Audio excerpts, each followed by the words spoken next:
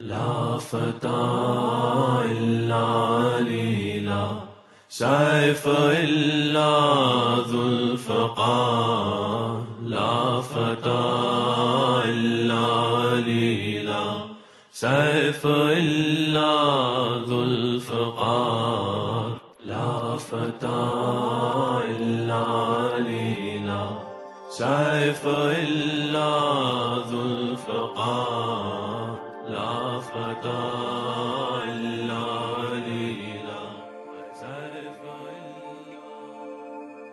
أعوذ بالله من الشيطان الرجيم بسم الله الرحمن الرحيم Assalamu alaikum wa rahmatullahi wa barakatuh and welcome back to Ramadan Reflections. Today as we continue in this blessed month of Ramadan on the fifth day we turn our focus to yet another verse of the Noble Quran in which we have a glimpse at the altruism and the generosity of the Commander of the Faithful. In Surah Al Insan Ad Dahr, chapter number 76, verse 8, Allah says the following They give food, however great be their need for it, with pleasure to the destitute and the orphan and the war captive. This verse holds profound significance in the context of Imam Ali alayhi salam and his exemplary life and the teachings that he has given to us. And this verse and this chapter actually is something which every Muslim and human being, regardless of their faith, can learn from and implement in their lives. What is the story, however, behind the revelation of this entire chapter? And as we zoom in on it, this particular verse? Well, in a touching narration, Ibn Abbas, the famous commentator and companion of the Prophet, he recounts an incident where both Hassan and Hussein, the two beloved grandsons of the Prophet Muhammad, may God bless him and his family, where they fell ill. The Prophet, along with his companions, visited the two young children in the city of Medina. And he suggested that Imam Ali, peace be upon him, make an oath for their recovery, take a, uh, a promise to God that if something happens, if they're cured, that he would do something. Now, such oaths we know are common in Islamic culture that a person will do a certain task if and when Allah fulfills their needs. And perhaps this is something that you yourselves have carried out. So the historians say that Imam Ali, peace be upon him, along with Fatima Zahra, peace be upon her, and their maid Fidda, that they vowed to fast for three days if the children were healed. Miraculously, through Allah, the children recovered, and despite the family's scarce resources, as they had promised, they prepared to fast for three days, knowing that they would be only able to break their fast with whatever they had available at home. Each day of the fast, as they proceeded to eat dinner at the time of Maghrib, someone would present themselves at their door. They would be a poor person one day, an orphan the second day, and a war captive prisoner, and that too, a non Muslim enemy combatant, came asking for food. As they had promised Allah, they gave away their meager bread and this little food they had to the needy, breaking their fast with only water for three straight days. Witnessing their selflessness and sacrifice, the Prophet was deeply moved. As a result, the angel Jibra'il, peace be upon him, brought down a revelation extolling the family and the virtues of this noble family. The same revelation that we are reading and discussing today found in Surah Al-Insan, chapter 76. Now, this incident ex- exemplifies the profound devotion and altruism of Imam Ali, of Fatima al-Zahra, and Hassan and Hussein, peace be upon them, setting an enduring example for generations to come. It shows us that they were so devoted to Allah that when He fulfilled what they needed, they in turn fulfilled what they had kept as a promise to Allah. Not only did Allah reveal one or two verses about them actually, but the bulk of this chapter speaks directly about their actions, with Imam Ali, peace be upon him, being at the pinnacle of this, being the head of the family and the household. Now, throughout his entire life, Imam Ali, peace be upon him, was renowned for his paralleled generosity and his compassion towards the less fortunate, Muslim or non Muslim.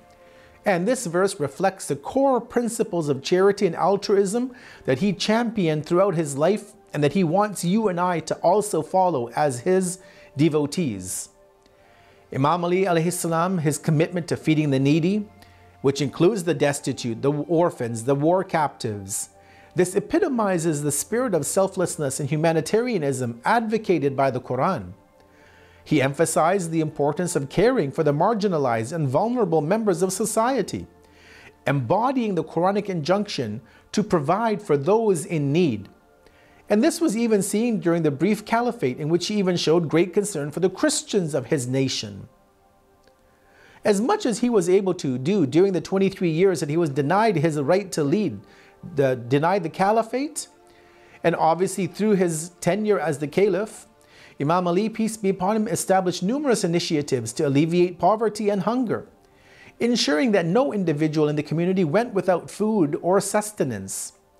His benevolent actions reflect the essence of this Quranic verse, where giving food to the needy is done with joy, without hesitation, regardless of one's own personal needs. Imam Ali salam, and his emphasis on feeding the hungry it extends beyond mere provision to encompass the quality of compassion and empathy. He believed in serving others with a sense of joy and fulfillment, recognizing the inherent dignity of every human being. Even as I said, the event where he recognized the dignity and respect of a non Muslim in his domain. In essence, the verse from the Quran today highlights the importance of charitable giving and compassion towards the less fortunate values that Imam Ali, peace be upon him, so epitomized throughout his life. His profound commitment to feeding the needy serves as a timeless example of selflessness and humanitarianism, humanitarianism, inspiring generations of Muslims to emulate his noble deeds. Now, although the name of Imam Ali again is not directly mentioned in the Quran, nor even in this verse we are reviewing today, nor the entire chapter of Surah Al-Insan, that's where the beauty of the hadith come into play. Given that Prophet Muhammad, may Allah bless him and his family, and the Imams of Ahlul Bayt, peace be upon them, are the rightful interpreters of the Quran, we must go to their door of guidance to see how they explain the verses of the Quran. In looking at the verse under review for today, we come across the following narration, which adds much more clarity to this verse. What does this hadith say? Well, it comes to us from Ibn Abbas, the famous commentator, the very famous companion of the Prophet, the cousin of the Prophet, actually. And in regards to the verse of Allah, and they give food in spite of love for it. Chapter 76, verse 8, he says, This verse was revealed concerning Ali and Fatima.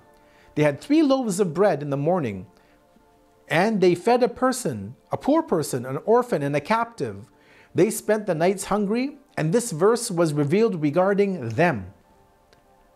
Let us now come to some practical tips from the topic of today for our Ramadan reflection, as well as a closing reflection and a final thought to end the blessed day of month of Ramadan that we are going through.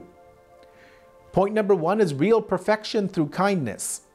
True perfection is achieved when kindness becomes an integral part of a person's character.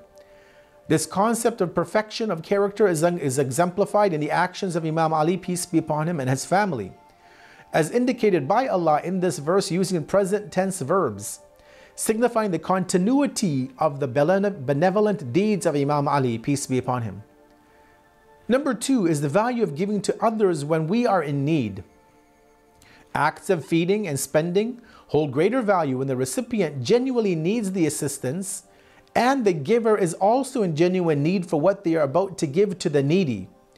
Imam Ali, peace be upon him, and his family are renowned for their generosity, often giving to others despite facing their own challenges.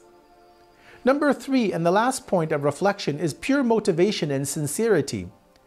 The true value of actions lies in the purity of motivation and sincerity in the deeds, exemplified by the statement of this verse that we feed you for the sake of God. Neither seeking neither reward nor thanks from you. This underscores the selflessness and humility of the righteous. They don't seek gratitude or praise for their benevolent actions.